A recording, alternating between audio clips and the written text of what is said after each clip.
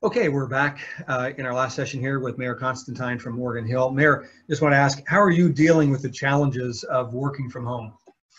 Well, you know, as I mentioned earlier with my, as you mentioned, coworker, you know, sometimes uh, we have little interruptions, but uh, that's just part of life. I mean, it's again, it's it's finding out the new norm and getting used to meeting and having meetings virtually uh, on Zoom or through conference calls and, and, whatnot. I've got a couple of conference calls coming on, uh, one right after this, and then getting updated from the county. So, you know, it's going to be it's it's it's been interesting, um, but as with anything, you get used to it.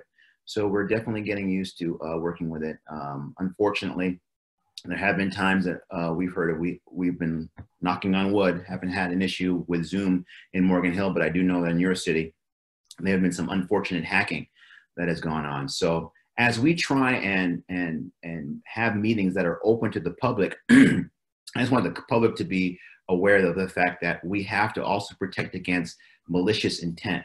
So it's there's a delicate balance on on how we make sure that we're open to the public as best as we can without allowing allowing people to hijack our meetings and to disrupt them. So I, I always want, want to make sure I, I, I ask patience because we try and be as transparent as possible, but we're, we're kind of working through this as we go. So uh, I just ask people to be patient, but we're, we're doing pretty good.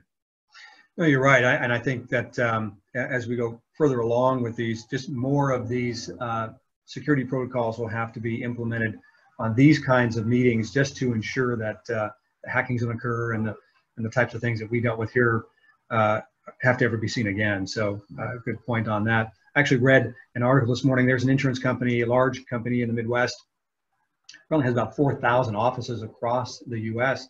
They are going to uh, shut most of those down and make them do work from home going forward. So some cases, people have found that this is really a, a better option for them, and they're starting to implement uh, more of the work from home uh, situations and part of the reality, and as we come through this, as I mentioned earlier, the, the economic downfall is going to be prevalent. So companies may use this as a way to help reduce their costs. You know, as we saw in, in past recessions, businesses, one of the first things they, they cut is business travel. So the airlines suffer from that. So this is something that we may see for, for quite some time. Exactly, and yeah, these Zoom meetings really do play into that, and and does uh, allow a, a the, the long distance types of communications to go on sort of face to face, if you will, without having to incur these travel costs. Exactly. Well, Mayor, as we as we do begin to come out of this, what's the uh, what's the first thing you're looking to do when the uh, the shelter in place order is lifted? Get a haircut. yeah, I imagine um, some long lines. At, yeah, uh, ex- exactly. Uh, one of the, one of the things I need is to get a haircut. You know, that's an interesting question because I really don't know. Um, because being home with my family and you you you you got that that that that um, bond. Um, but you know because we've been able to do essential things like like go to the grocery store and things like that um, you know I, I, like to say go on vacation but uh, you know that's again that's not something that we're going to be able to do right away. So um, you know the little things that uh, i think we haven't been able to do um, it's not my turn yet to go to the dentist, uh, but uh, every six months I have to go to the dentist. So I'm one of those things, the things that we haven't been able to do that we've been take, we've taken for granted, like getting a haircut or you know just going down to the local store or you, your your local uh, restaurant and have a seat and have a drink with a friend or something like that. Those are the things that you know we're going to be looking forward to do. Um, but again, you know it's it's it's going to be it's going to take a while. But Indeed. What about you? What are you? What are one of the first things you're going to do? I'll probably be right behind you looking to get a haircut. yeah, those are those are. But you know, it's interesting what you say. It, it, it does help us begin to. I mean, we will find ourselves now probably more grateful than ever for those conveniences that we have had in the past, which now we're we're a little bit limited in uh, in experiencing. So, uh, I, I think and hope that as we come out of this, more and more of our residents will uh, do more to support our local businesses, whether restaurants, barbershops uh, retail, whatever that might be. Because as you said earlier, uh, both our cities really rely on sales tax, property tax, TOT, all of those things that are so important to running a city that uh, we'll need to get those numbers back up again.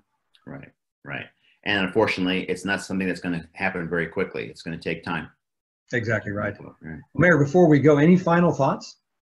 Well, I just want to make mention um, for anyone listening in Morgan Hill, if they have any questions, they need to contact us. We do have a virtual call center, and the number is 408 767 6404. And I'll mention that again. I'm sure there's some people that are going to need to uh, probably they could hit pause and come back and get some paper. But um, that's a way that people can, if they have questions, they can um, call, leave a message, and we promise to get back to them within 24 hours. So again, that number is 408 767 6404.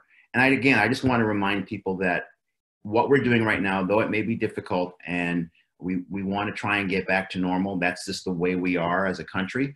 Uh, we don't want to be impeded by anything, but we have to really understand that the only thing that is stopping this pandemic from spreading is the fact that we are social distancing and we are following the protocols that have been set forth by not only the county, but also the state. So as long as we persevere, we follow through with that, um, we'll remain safe. But again, this is the only thing that is keeping us safe, keeping us healthy, is making sure that we social distance. So be patient, stay strong, stay home, and uh, we'll get through this. Yeah, thank you for that reminder, and thank you again for joining us today for our virtual legislative summit. So much appreciate all that you're doing in Morgan Hill and uh, participating with us today. Again, I appreciate the invite. Thank you, Mark. You're quite welcome. I'm Mark Turner, President of the Gilroy Chamber of Commerce.